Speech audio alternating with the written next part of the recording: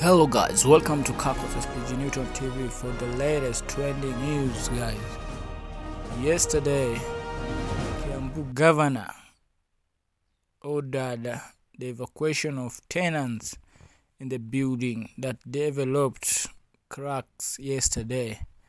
And earlier today, that building in Ruiru town, Kiambu, has collapsed a few minutes after the more than 100 tenants were evacuated when cracks were seen on its pillar on yesterday.